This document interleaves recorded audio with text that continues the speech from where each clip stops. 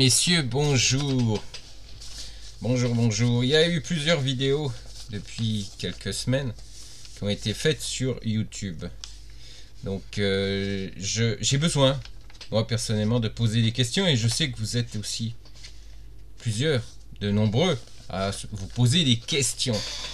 Donc, euh, eh bien, cette euh, vidéo sera pour le lancer le live de mardi prochain. Le live de mardi prochain sera un peu différent que de ceux d'habitude. Le live sera, sera là pour, euh, pour que nous puissions discuter ensemble et puissions répondre aux questions que je vais demander. Oui, oui, vous l'avez reconnu, c'est Monsieur CQMI. Cette, euh, cette vidéo, il y a plusieurs vidéos. La première a été, a été faite le 29 mars 2020, vers la fin des rencontres internationales.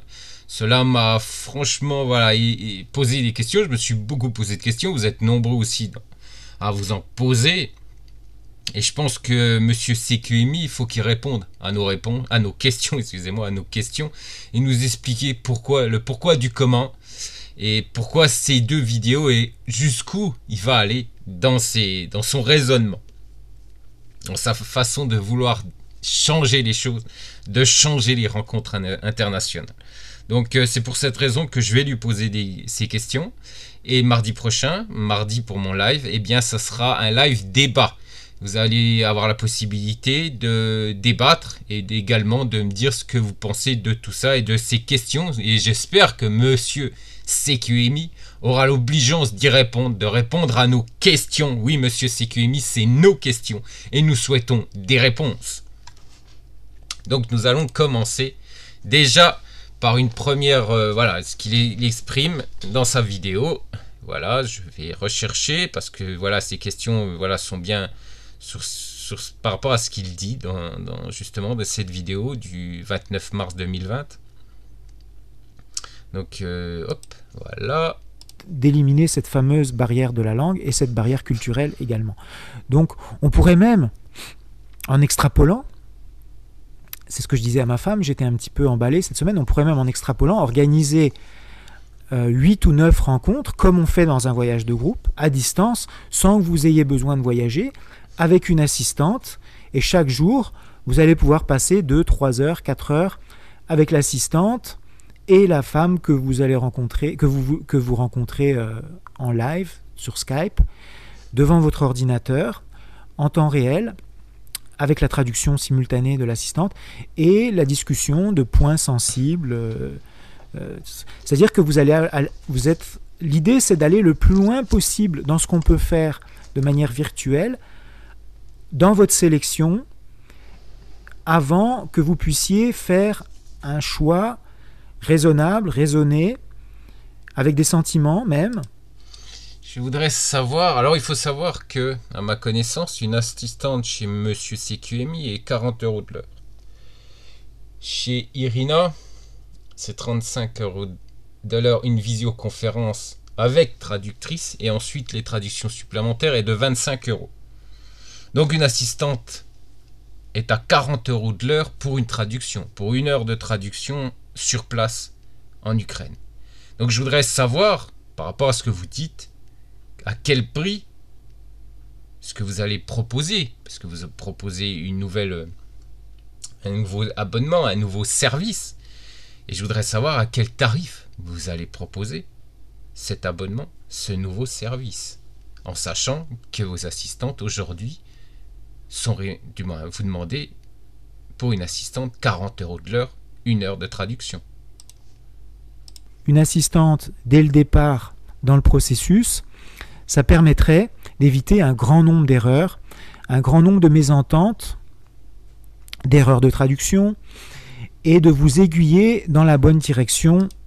Donc une traductrice, c'est 40 euros de l'heure. Plus visioconférence, je voudrais savoir à quel tarif vous allez faire ce service. Ça, c'est ma première question. Parce que je pense que ça, ça intéresse beaucoup de monde, étant donné que, voilà, vos tarifs sont aujourd'hui, à ma connaissance, sont les plus chers d'Europe et de France. Et même du Canada, je crois. Donc je voudrais savoir aujourd'hui à quel tarif vous allez proposer ce service, monsieur CQMI.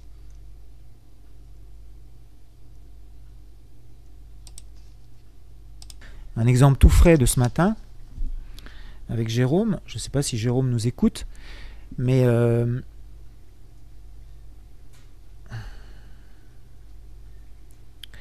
je regarde vos commentaires. Euh, Johan qui dit c'est une très bonne idée, Antoine, merci. Euh, ça peut être une opportunité de s'adapter dès maintenant. L'expérience vécue aujourd'hui nous renseigne peut-être que les choses disparaissent pour ouvrir la porte à d'autres champs possibles. Je crains le jour où la technologie dépassera nos relations humaines. Le monde aura une génération d'idiots. Albert Einstein, ça c'est Hervé. Moi, je, je suis, je suis pas d'accord avec toi, Hervé, parce que je, je suis plutôt un optimiste par rapport au contact euh, virtuel. J'y crois. J'ai tendance à y croire parce que je vois ce que les jeunes générations font et je pourquoi aujourd'hui, monsieur CQMI, pourquoi mettre en avant autant les contacts virtuels? Pourquoi? En sachant que les professionnels de santé disent que c'est un danger et une dépendance envers les personnes que vous ne connaissez pas. Oui, je voudrais comprendre. Je voudrais comprendre pourquoi ce fort engouement tout d'un coup pour les contacts virtuels. Pourquoi? Pourquoi, monsieur CQMI, vous mettez autant aujourd'hui les contacts virtuels en avant? Je vois bien que les, jeunes, Diana, euh, ma fille, euh, les jeunes, euh, ils y croient aussi. Aujourd'hui, les jeunes sont de plus en plus devant l'ordinateur et on leur reproche justement, les médecins, les psychologues, leur reproche justement qu'il n'y ait plus assez de contacts réels. Aujourd'hui, les pédophiles utilisent aussi les, les, comment, les réseaux sociaux pour, euh, pour choper leur proie. Aujourd'hui, la gendarmerie les psychologues disent que le virtuel est très dangereux. Pourquoi aujourd'hui vous mettez ce virtuel en avant?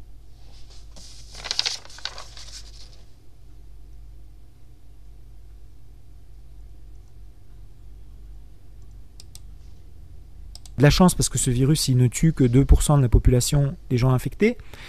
Mais si c'était un virus qui tuait 30 euh, ou 40% des gens qui l'attrapent, euh, ça, ça va peut-être s'en venir dans, quelques années. Donc, plus on est nombreux sur la planète Terre, plus il va y avoir de virus et plus la probabilité qu'un virus euh,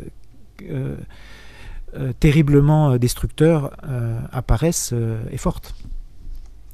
Donc, pourquoi? Pourquoi, monsieur CQMI Vouloir encore une fois faire peur aux gens? Parce que dans tout, tout, toutes vos vidéos, toutes vos dernières vidéos, il est sujet que de peur. Vous savez, monsieur CQMI, que les lois internationales condamnent les fake news. Que vous essayez de faire passer sur vos vidéos pour des intérêts financiers? À se poser la question, monsieur CQMI. Et je vous pose la question, monsieur CQMI.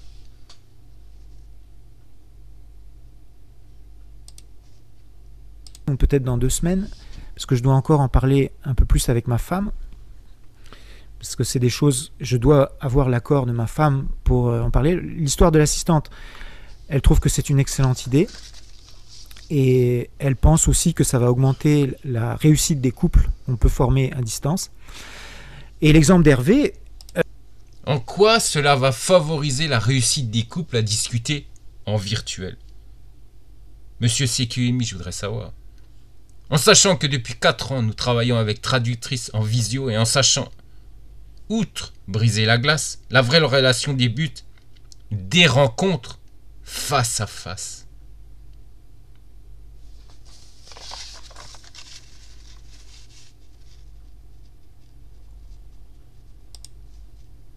Rencontré Tamara sur Impact 3 et à, tomber amoureux d'elle avant même de faire le voyage. Donc c'est la preuve que même pour quelqu'un d'une ancienne génération qui croit au sacro-saint contact humain, il est possible de tomber amoureux et de rencontrer la bonne personne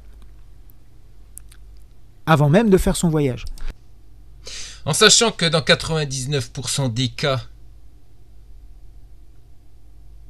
les, les, favorites en vision, en visioconférence, n'est plus la même lors des vraies rencontres face à face. Depuis 4 ans, nous travaillons ainsi. Depuis 4 ans, mon épouse travaille ainsi. Et à chaque fois, à 99% des cas, cela s'est avéré vrai. Les visioconférences, ces missions craquées pour certaines dames, et à la fin, en face à face, eh bien, ce n'était plus du tout la même relation, le même contact. Alors expliquez-moi ce que ça va favoriser. Je voudrais comprendre, monsieur CQMI. Il y a beaucoup de choses qui, qui sont très étonnantes dans ce qu'il dit aujourd'hui. Beaucoup de choses euh, à se poser des questions. Là, c'était le dimanche 29 mars. Cette vidéo a été. C'était le live du dimanche 29 mars vers la fin des rencontres internationales. Il y en a eu une seconde. Live. Oh, pardon. Une seconde. Le dimanche 5 avril. A-t-elle de, à elle de choisir. Donc la première me fut. La première question me fut donnée par un membre de notre communauté elle se trouve, euh, c'est la phrase qui a fait bondir certaines personnes, moi même plusieurs. C'est, ah, écoute. Plus proche, vous allez pouvoir probablement dans le monde de demain profiter du train, et je vais vous encourager à le faire. Et on a de plus en plus d'hommes qui voyagent en train. Savez-vous le périple Ukraine, du moins France, Ukraine? Oui, j'appelle ça un périple. Oui, oui, tout à fait.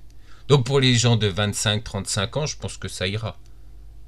Mais je vous déconseille de le, faire tout seul. Hein. Moi, il y a quelques années, j'avais voulu voir. Parce que je me suis dit, tiens, on pourra, je pourrais en même temps visiter certains pays, parce que vous avez traversé plusieurs pays. On est bien d'accord. Pour reprendre un second train pour les correspondances, vous allez devoir dormir un jour dans certaines villes. Oui, oui, parce qu'il y aura des changements, il y aura une correspondance. Donc vous allez dormir dans certaines villes. Après, il faut voir, si vous allez à Kiev, vous en avez pour, euh, pour un jour, un jour et demi. Voire un peu plus si vous avez une correspondance et vous serez obligé de dormir sur place. Pour aller par exemple dans des régions comme Dnepro, vous en aurez pour deux jours. Mais seul, totalement seul. Et dans certaines régions, ils parleront un peu ou pas du tout l'anglais dans certains pays, dans certaines gares. Alors si vous allez dans les, capitales de chaque pays que vous allez traverser, cela devrait être plus facile. Mais si vous arrivez dans des petites gares nationales, ça va être très compliqué. Vous allez devoir dormir dans ces, dans ces villes. Vous allez devoir séjourner un jour, une nuit.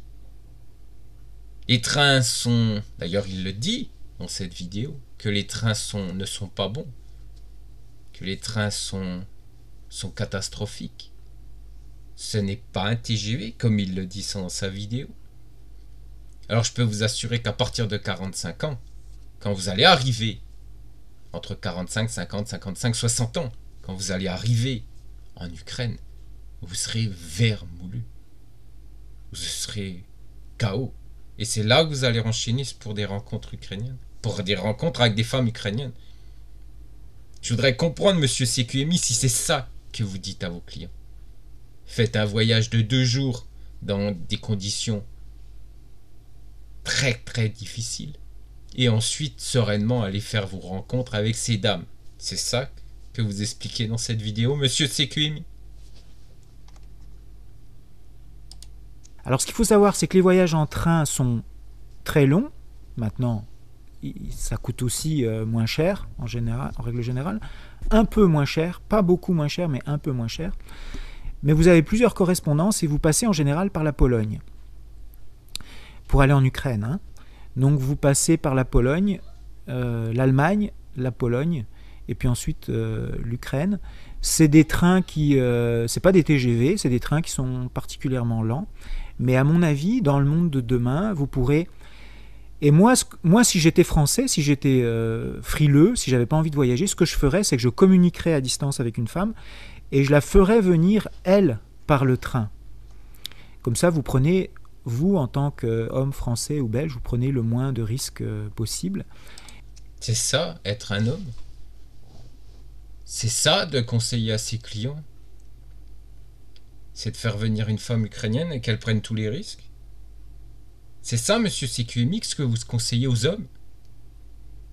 De faire venir une femme? Une femme? Ukrainienne qui n'a peut-être jamais voyagé de sa vie, qui connaît peut-être pas un mot d'anglais, la faire venir en train parce qu'elle prendra moins de risques. Parce que, du moins, non. Parce que vous, Français, ainsi vous ne prendrez moins de risques et vous laisserez prendre tous les risques à la dame, à cette dame qui n'est peut-être jamais sortie de son pays voyager. C'est ça, messieurs. C'est ça pour monsieur CQMI être un homme, un vrai. Je vous pose la question, monsieur CQMI. C'est vous, pour ça, c'est ça qui est pour vous un homme?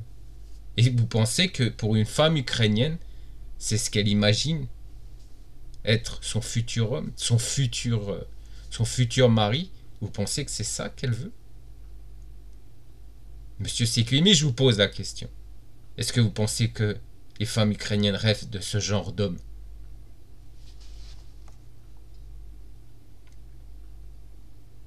Ensuite, il y a encore, parce qu'il n'y a pas que ça, hein, soyons clairs, hein, il y a encore d'autres choses hein, qui sont fort déplaisantes et je voudrais comprendre, parce que je voudrais comprendre comment il réfléchit ce bon monsieur, CQMI. Je voudrais comprendre. Euh, ont peur du rejet, ont peur de la... Et je pense que la population d'hommes aussi qui, euh, qui s'adresse finalement à des femmes de l'Europe de l'Est, c'est qu'ils veulent vraiment euh, rencontrer une femme qui va être hyper motivée à les rencontrer. Alors c'est sûr qu'une femme qui va se connecter et qui va vous choisir, elle va être hyper motivée à communiquer avec vous. Par contre... Donc, ce que je comprends bien, c'est que ces dames, c'est elles qui vont pouvoir choisir, comme Irina le fait depuis 4 ans dans son agence. C'est ça que vous voulez mettre en, action sur votre site dans les mois à venir. C'est bien ça que je comprends, monsieur CQMI. Par contre, je voudrais juste savoir, et beaucoup d'entre, du moins, beaucoup de gens qui vous regardent se posent la même question. Sous quels critères de sélection ces dames vont choisir les hommes? Professionnel, job, statut social. C'est ainsi qu'elles vont choisir. Ce sont sur ce genre de critères que ces dames vont sélectionner les hommes qu'elles souhaiteront rencontrer Irina a un questionnaire de plus de 70 questions pour justement que ces dames choisissent, mais avec les bons critères. Parce que le statut social n'est jamais indiqué dans ces questionnaires de mon épouse. Jamais. Pour justement qu'elle ne soit pas... Voilà, que certaines dames ne voient pas déjà le statut social. Donc, parmi... Dans ce questionnaire, le statut social est supprimé. Donc elles choisissent l'homme par rapport à ce qu'il est, par rapport à ce qu'il représente, par rapport à ce qu'il aime, il n'aime pas, par rapport à sa personnalité.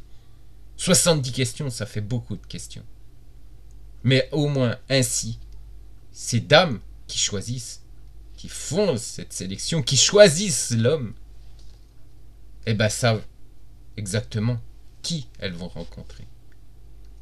Et vous, Mister CQMI,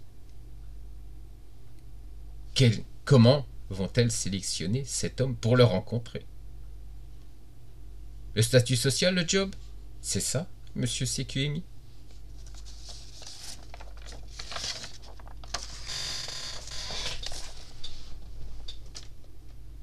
Ce sera probablement pas les, les femmes qui sont en couleur rouge, qui sont constamment sollicitées avec un drapeau rouge. Ce sera probablement des femmes qui seront en drapeau vert. Drapeau vert, drapeau rouge? Les dames savent, savent qu'elles sont comme de la viande bovine dans votre agence, classée par label Faible, moyen, élevé.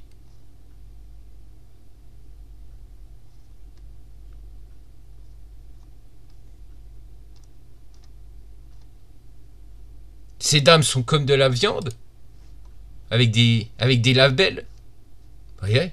En plus, on retrouve les mêmes couleurs, rouge, vert, les viandes de bœuf label rouge, label rouge le goût des viandes, l'agriculture biologique. C'est ainsi qu'elles sont fichées, vos femmes, dans votre site, monsieur CQMI C'est de la viande bovine, vos adhérentes, monsieur CQMI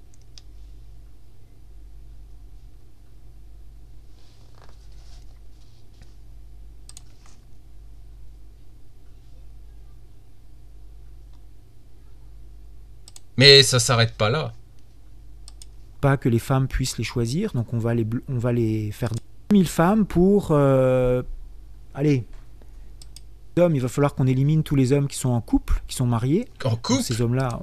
En couple Vous avez bien dit des hommes mariés sont inscrits sur votre site et qui sont également en couple sont inscrits sur votre site. C'est bien ça que vous dites, monsieur CQMI J'ai bien compris, au témoin d'un doute, j'ai bien compris. Hommes, il va falloir qu'on élimine tous les hommes qui sont en couple, qui sont mariés. C'est bien ça. C'est bien ça. Donc je voudrais comprendre comment ça se fait que sur un site qui normalement, bah, vous devez gérer votre site, vous devez filtrer votre site.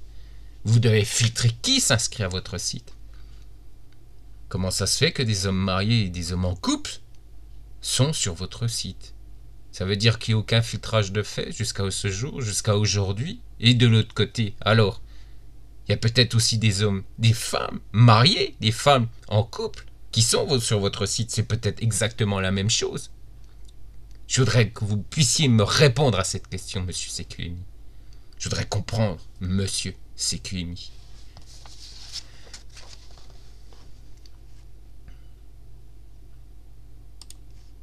Qui vous choisit.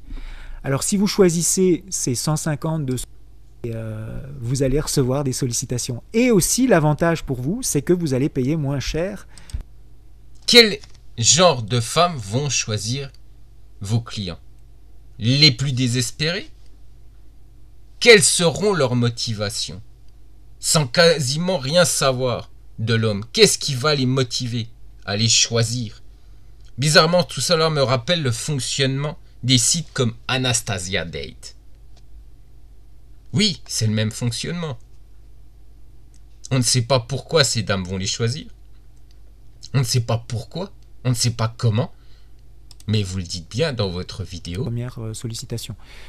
Euh, peut-être même avant. J'espère qu'au printemps, euh, j'espère que dans le courant du mois de mai, il va y avoir déjà des premières femmes qui vont se connecter au site. Donc on va les appeler, on va leur donner un code, un mot de passe, elles vont se connecter elles vont vous choisir. Et vous allez recevoir des sollicitations. Et aussi l'avantage pour vous, c'est que vous allez payer moins cher pour obtenir un contact de femme qui vous choisit. Mais comment elle va vous choisir?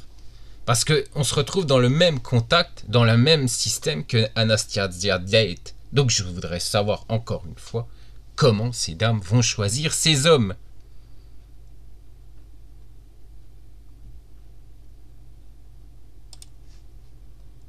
Fait choisir plutôt que le mâle qui choisit. D'un autre côté, certaines femmes sont très demandeuses de contact. Ça, c'est quelque chose que vous ne voyez pas, mais il y a des femmes qui piétinent d'impatience, qui sont derrière l'ordinateur, qui veulent vous choisir. Et on les bloque jusqu'à présent. Donc on a comme une force, on n'a plus de partenaires. Pourquoi pas le choix? Pourquoi vous n'avez pas laissé le choix depuis, vous le dites dans cette vidéo, pourquoi vous ne laissez pas le choix à ces dames? Pourquoi jusqu'à présent vous n'aviez pas laissé le choix à ces dames? De choisir. Et pourquoi tout d'un coup vous les laissez faire? Parce que vous ne voulez plus aller en Ukraine?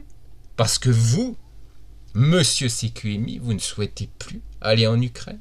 C'est pour cette raison qu'aujourd'hui, vous changez de politique et vous changez de façon de travailler.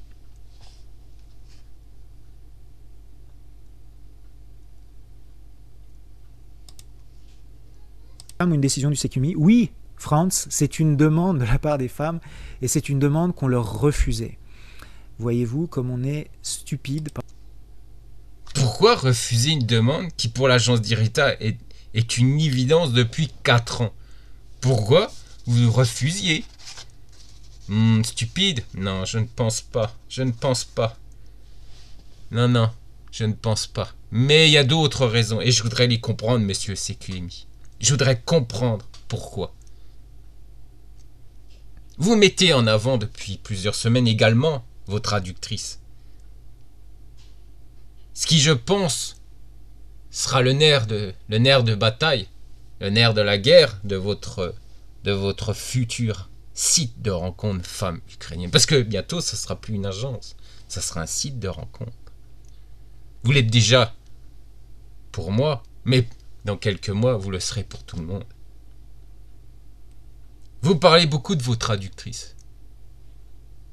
Vous, vous parlez beaucoup, énormément, de ces traductrices. Salut à tous. De ces traductrices qui, pour vous, sont les meilleures, les plus grandes, les plus fortes. Est-ce que vous voyez Est-ce qu'on est bien là? Ah, pardon, là, c'est parti un peu trop vite. Excusez-moi. Voilà. Vous parlez de ces dames. Euh, il travaille vous mettez beaucoup en avant vos traductrices. Parce qu'elles sont profs. Vous en avez beaucoup parlé. Vous en parlez encore plus aujourd'hui. Parce qu'elles seront. Elles seront votre. Euh, celles qui vont le plus travailler aujourd'hui. À 40 euros de l'heure. C'est ces dames. Parce que Svetlana, c'est ces dames que vous avez mis en avant depuis plusieurs mois travaille euh, dans le bâtiment, je pourrais dire, dans les mhm. travaux de réparation, quelque chose comme ça, industriel. Euh, il, euh, il aime aussi de combiner dans le bâtiment, dans les travaux de réparation, il aime combiner. Nous, nous avons... Bonjour. Bonjour Yana. Nous, nous avons Yana, qui est de Nipro qui est notre... qui sera peut-être mon assistante dans quelques semaines, après que le coronavirus soit passé.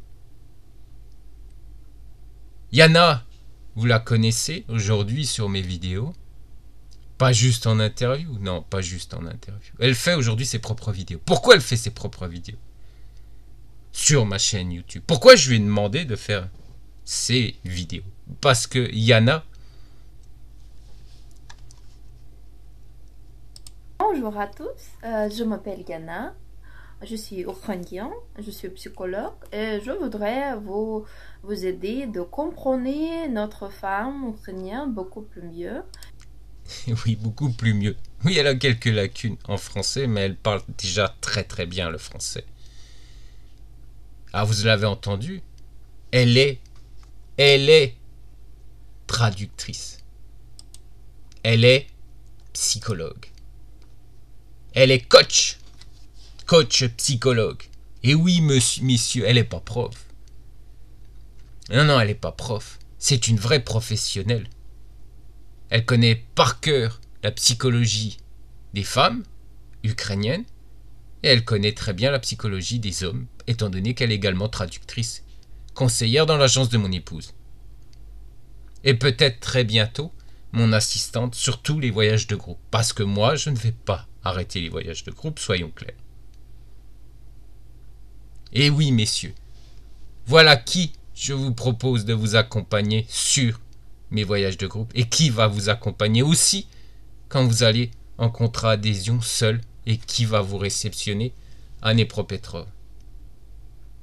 Je pense que si vous avez, vous avez compris, je pense que vous avez compris qui sont les vrais professionnels et qui sont les amateurs.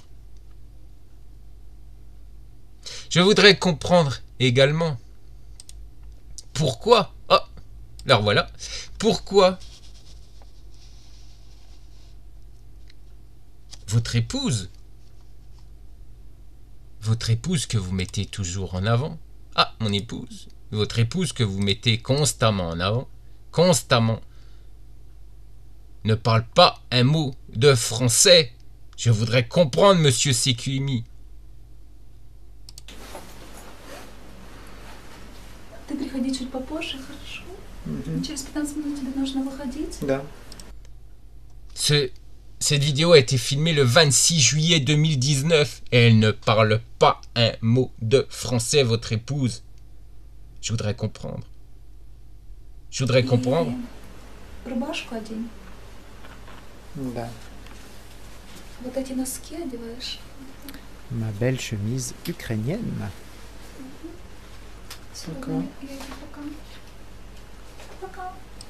On voit que cette dame ne parle pas, ne comprend, comprend très peu le français. Pourtant, mon épouse...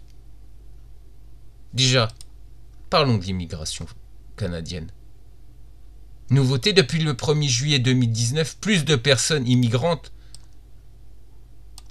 sont maintenant admissibles aux cours de français offerts gratuitement par le gouvernement du Québec à l'aide financière qui a été augmentée. Cours de classe de 25 ou 30 heures par semaine. Stage débutant et intermédiaire. Et ça, c'est dernièrement. Ça, c'est depuis le 1er juillet 2019. Ils ont encore agrandi la possibilité de que plus d'immigrants puissent venir à ces cours. Mais déjà, depuis plusieurs années au Québec, on aide les ressortissants étrangers à apprendre le français. Pourquoi votre femme ne connaît pas le français? Tout ça n'est pas fait en France. Toutes ces dettes n'est pas fait en France. Pourtant, ma femme aujourd'hui parle couramment le français. Et oui, messieurs, parle couramment le français. Au, moins pour le premier rendez-vous. Après, il ne faut pas, aux premières rencontres, il ne faut pas parler que de vous-même raconter les histoires que passaient dans votre vie. Euh, nous, les femmes, on aime aussi raconter les choses euh, de nous. Alors, euh, vous pouvez, c'est bien sûr que vous essayez de vous connaître et vous pouvez discuter et vous pouvez raconter quelque chose, mais pas tout le temps. Que ce sera quand même une discussion conviviale et que la dame que vous serez, vous pouvez raconter, il serait à l'écoute de cette dame. Ensuite, il ne faut pas parler de vos ex. Alors ça, c'est au premier, c'est pas que au premier rendez-vous, mais au premier moment, pas du tout. Pas du tout, parce que euh, on n'est là pas pour écouter votre défaut ou défaut des partenaires que vous avez dans le passé. Euh, on est là pour vous connaître, mais pas vraiment savoir ce que s'est passé et hum, avant. Hmm. Après aussi, euh, il ne faut pas se plaindre et pleurnicher. Même je pense que si une femme est comme ça, je pense voir une dame comme ça, c'est pas agréable. On a bien compris le niveau de français de mon épouse. Donc tout ça, tout ça fait que je vous pose autant de questions aujourd'hui. Car moi, en tant qu'homme, moi, en tant que personne lambda qui ne pourrait ne pas connaître l'Ukraine, je me pose beaucoup, beaucoup, beaucoup de questions sur votre comportement et vos idées et vous où vous souhaitez en arriver. Et je pense, vous, messieurs, qui me regardez, vous, messieurs, on monte à plus de 280 vues pour des lives, pour les lives, Irina ou de moi-même. Aujourd'hui, vous êtes de plus en plus intéressés par mes lives. Donc le live de mardi, bah ça sera justement par rapport à toutes ces questions. Toutes ces questions que moi je me pose et que vous, vous vous posez. Et nous allons débattre justement sur ces questions et pour comprendre le pourquoi du comment. Je vous dis à mardi et je vous souhaite un excellent dimanche, messieurs.